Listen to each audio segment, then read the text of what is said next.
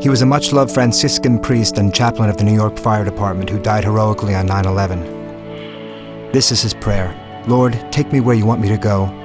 Let me meet who you want me to meet. Tell me what to say, and keep me out of your way.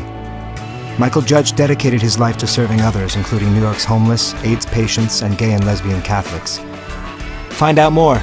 Log on to glbthistorymonth.com.